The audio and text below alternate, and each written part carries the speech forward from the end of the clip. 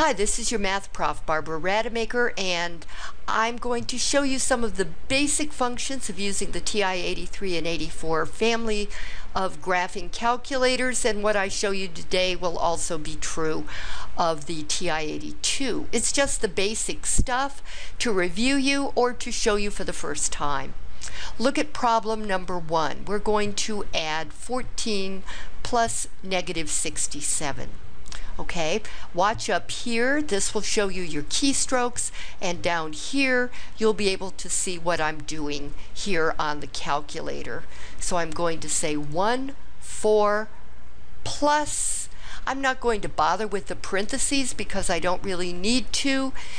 To say negative 67, I do not hit the minus key. I hit the negative sign. Negative 67 and we don't have an equal sign so I hit enter.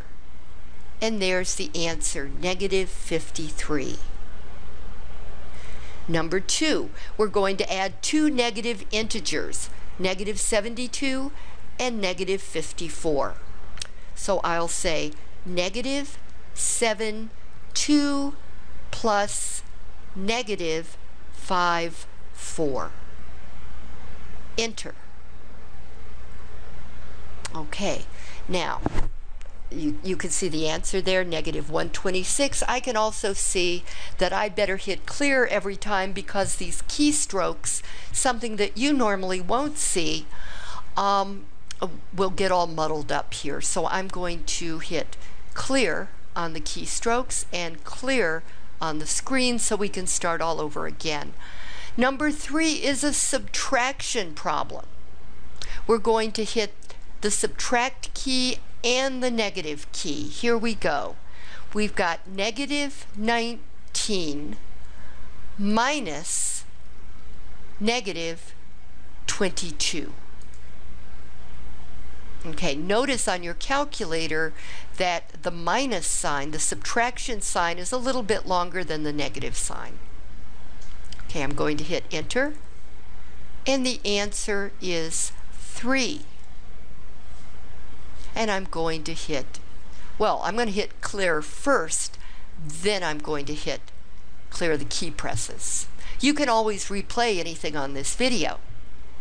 All right, now, the instructions for number four say reduce rational numbers to lowest terms. Um, our wonderful calculator will do that for us. Now, the way you get a fraction bar is you hit the division sign. So 52 minus, no, no, divide by 117. There we go. Instead of hitting enter, I'm going to push the math button right there. And then notice that frac for fraction is highlighted. So I'm just going to hit enter and enter again. And here's your answer, 4 ninths. 4 ninths is, if you reduce 52 and, and 117, this is the fraction you'll get. In fact, um, the TI graphing calculator will always give you your fractions in lowest terms, so you don't have to worry about it. Now next, we're being asked to express the decimal, this decimal, as a fraction and to simplify. Simplify means to write the number in lowest terms. So I'm going to say 0 0.824, and you really don't need the zero. You could have just said 0.824. Math, enter, enter, and there's our answer. 0.824, if you turn it into a fraction, is really 103 over 125. Okay, clear. And hit in clear key presses. Now I'm going to multiply two fractions. 5 divided by 9 is 5 ninths, and then I'm going to push the multiply key, and then 2 divided by 3. Oh, I almost hit enter. I would have gotten an ugly decimal there. But don't worry, we can still hit math, enter, enter, and we get 10 27ths. You didn't have to hit enter after the numbers. You could have just said math, enter, enter, and that would have given you frac. Okay, clear, clear key presses. Now I'm going to multiply one third by negative 8. I'm going to say 1 divided by 3 times negative 8. Enter. Oh, I forgot we're going for a fraction. Yes, we are. We need a fraction.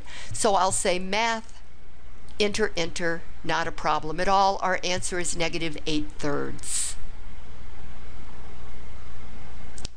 Now for number 8, I'm going to multiply these two fractions. Notice I'm not putting in the parentheses because I don't have to.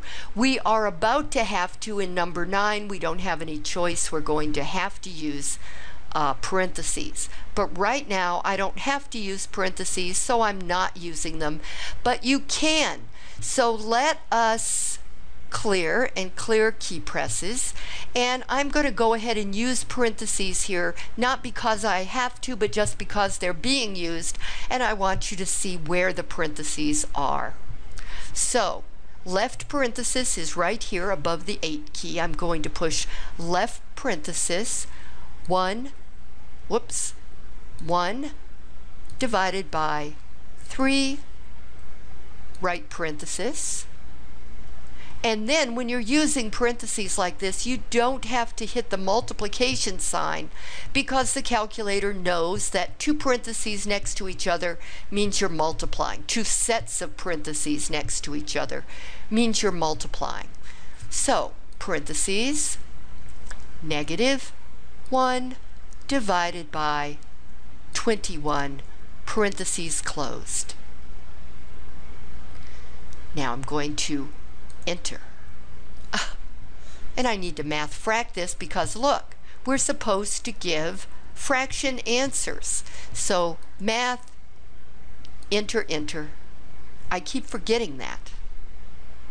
But notice it's never too late to go back and uh, get your fraction. You can always math frac, even after you hit enter. Okay, clear and clear key presses. Now, when you divide fractions, you must put parentheses around the first and the second fraction. Here's what I'm going to do. You do it too. Left parenthesis 7 divided by 17, close parentheses, divide, left parenthesis, 1 divided by 2 right parenthesis. And each one of these keystrokes is absolutely necessary. Again, you can always replay the video. You can even uh, go back a little bit if you want to. Okay, now I'm going to hit, no, I'm not going to hit enter. It's not going to fool me this time. I'm going to push math enter, enter. Well, okay, the calculator's not fooling me. I'm just making a mistake.